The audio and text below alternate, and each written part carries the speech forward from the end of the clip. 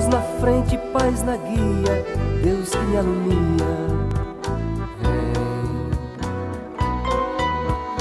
Vem, guia os passos da gente por caminhos novos.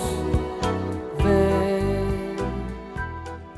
Eu moro em Minas Gerais, nesse lugar, Belisário. Belisário é um distrito do município de Muriaé. Não fica muito distante daqui não. Belisário está na bacia do rio Paraíba do Sul. Aquela serra que a gente vê ao fundo ali, ela divide as duas bacias. De um lado da serra é a bacia do Paraíba do Sul, do outro a bacia do Rio Doce. Tem quase oito anos que eu moro lá. E Belisário, então, ele é distrito de Muriaé. Muriaé é uma cidade de mais de 100 mil habitantes. E Belisário não passa de 2.500 habitantes todo o distrito. Belisário está situado no entorno do Parque Estadual da Serra do Brigadeiro. Aquilo que vocês veem na foto ali, a Serra do Brigadeiro é um parque que foi criado com a participação da comunidade. Então é um parque estadual onde ainda se conserva muito a agricultura familiar, essa possibilidade das comunidades continuarem lá. Parque que tem, desde a sua origem, uma participação muito grande das comunidades na manutenção do, parque.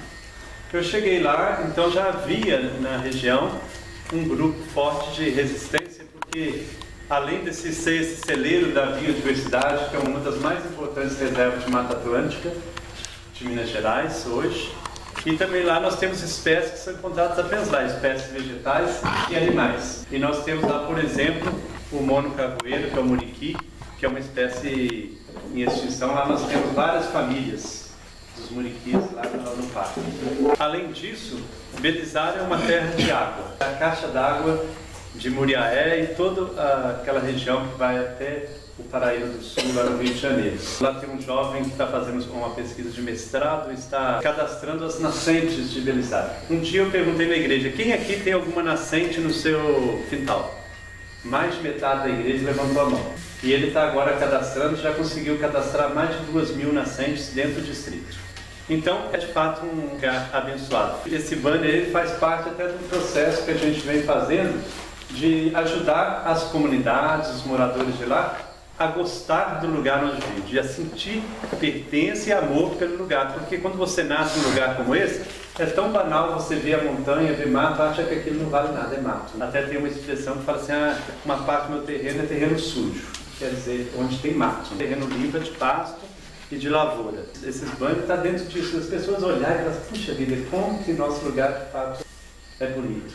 Há todo um trabalho de fortalecimento da agricultura familiar. Lá é uma região de pequenos produtores, nós não temos propriedades com mais de 100 hectares lá. A gente brinca que a reforma agrária lá já aconteceu, porque todo mundo tem um pequeno terreno, planta, colhe ali, então a base da economia lá é o café e o leite. É uma região serrana, fria, e nós temos desenvolvido um trabalho grande de base agroecológica, de levar o pessoal cada vez mais, deixar o agrotóxico de lado. Então, esse é o quadro da beleza de Belisário. Muita gente que vai lá me visitar, para chegar em Belisário você tem que enfrentar as estradas de terra, serra. Muriaé fica a 230 metros de altitude no nível do mar. Belisário está a mais de 700 metros. Então você tem uma subida de 500 metros ali para fazer em estado de terra. Aí muita gente chega e fala assim, ah, sofrei, eu vim morar no fim do mundo.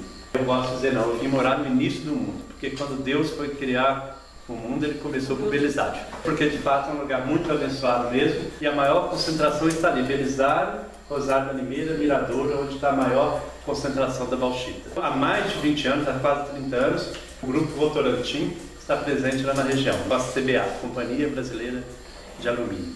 Já começaram a exploração há mais de 20 anos, já exploraram no município de Itamaraty de Minas e já terminaram. Itamaraty de Minas hoje é uma cidade morta, quem vai lá vê que a cidade ficou inviável. Depois que a mineradora saiu, acabou a cidade, a agricultura lá ficou inviável porque acabou a água e a CBA hoje está em Miraíça, São Sebastião da Vargem Alegre. Essa resistência ela existe já há vários anos. Quando eu cheguei já existia um grupo forte lá de resistência, formado por várias entidades. O Reinaldo está aqui, também faz parte lá da frente do enfrentamento, da nossa comissão do enfrentamento. Quando eu cheguei, até por ser franciscano, eu creio assim que não tem como eu ser franciscano sem ter esse amor à mulher, de cuidar de fato da criação, cuidar dos pobres, cuidar dos trabalhadores. Eu compreendo assim que não há como eu ser igreja, ser um padre, sem olhar o conjunto, nossa casa comum, olhar tudo. Então, eu sempre tive uma preocupação muito grande com a questão ambiental. E lá eu comecei a participar dessa frente e começamos a construir de fato dentro da comunidade uma consciência de cuidado, de proteção dessa beleza que nós temos. No dia 19 de fevereiro desse ano, eu havia terminado a missa, eram 11 horas da manhã. Ao entrar na casa paroquial em Belisário, eu não moro na casa paroquial, moro na zona rural, onde a gente tem todo o trabalho no campo da agroecologia. Eu fui entrar na casa paroquial dentro de Belisário, eram 11 horas da manhã, então assim que eu tranquei a porta da sala, um senhor entrou junto comigo, empurrando para dentro de casa e estava armado. Aí ele armado falou assim, o senhor não precisa assustar que hoje eu vim apenas para dar um aviso. O senhor está falando muito de mineração e nós não queremos que o senhor fale mais nesse assunto. Ele pegou e falou assim, o senhor fica esperto que nós estamos te acompanhando e descreveu a minha última semana, cada dia onde eu tinha passado, eu vi que ele sabia onde eu tinha ido, escreveram perfeitamente a semana e ele falou, então o senhor fica calado daqui para frente e não fale mais nesse assunto e foi embora. Nós ficamos assim, como agir na, no primeiro momento, você não sabe como fazer. O que, como fazer?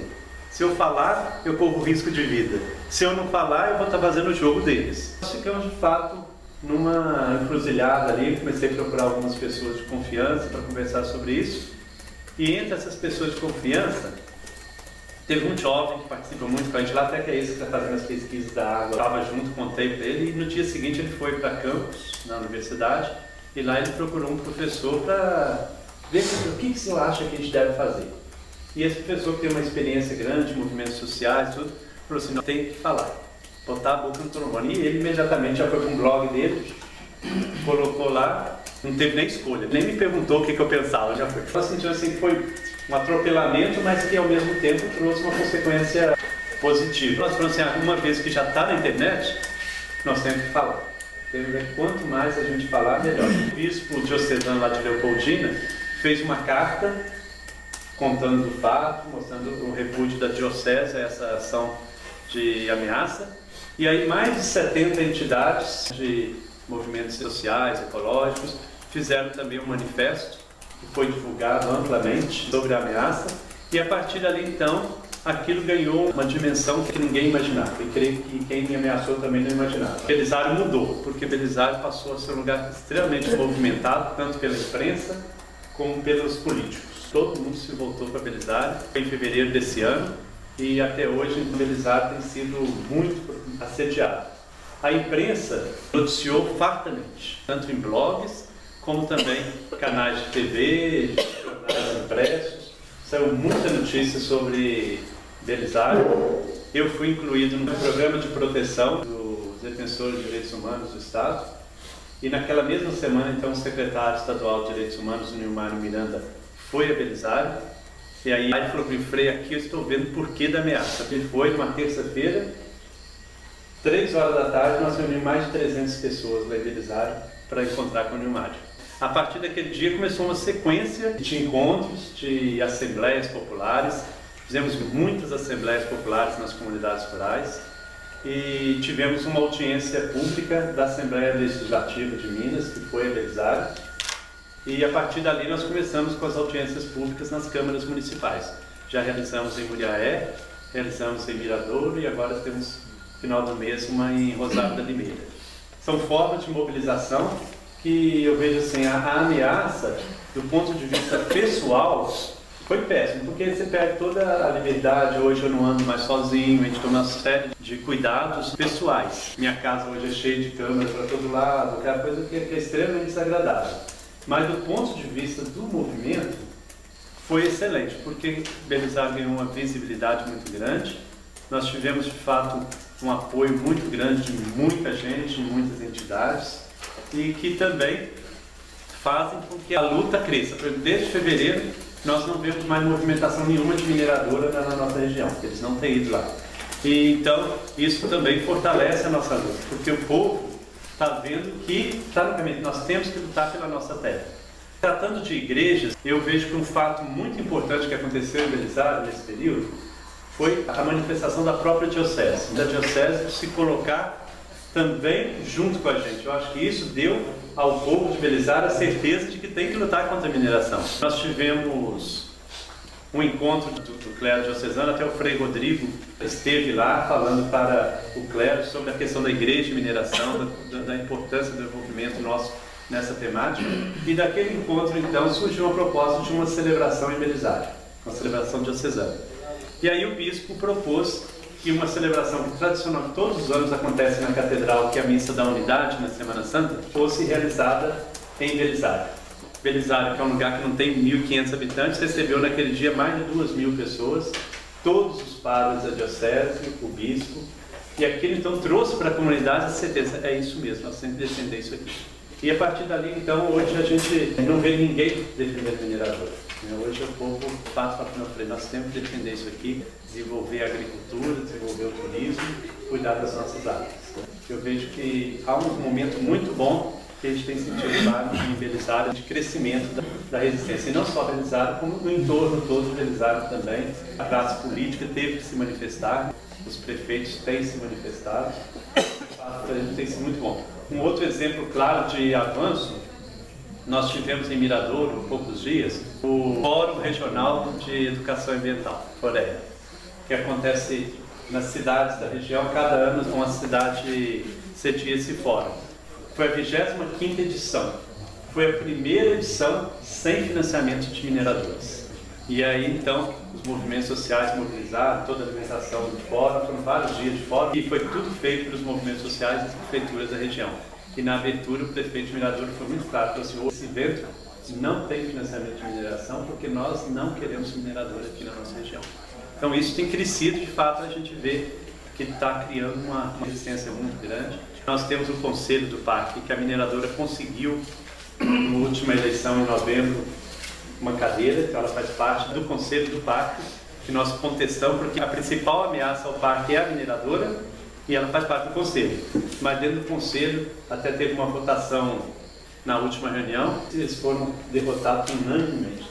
A mineradora está completamente acuada porque a resistência tem aumentado demais lá e eu acho que isso se deve a toda essa espiritualidade, esse jeito da gente estar tá lá com as comunidades. A igreja tem sido um espaço fundamental para a resistência. Gilberto, só uma coisa, outras igrejas participaram também? Outras... Sim, de todos esses eventos que a gente tem feito, tanto as audiências públicas, como as assembleias, fazemos Maria das Águas lá, tudo, as igrejas têm participado. Os adventistas, o pessoal da Assembleia, pessoal da congregação cristã tem participado.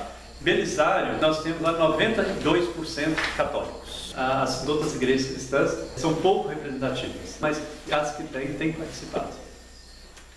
Muito obrigado. Nos defende dos perigos, dos inimigos da vida. Vem, ó Deus, nos defender, nos proteger.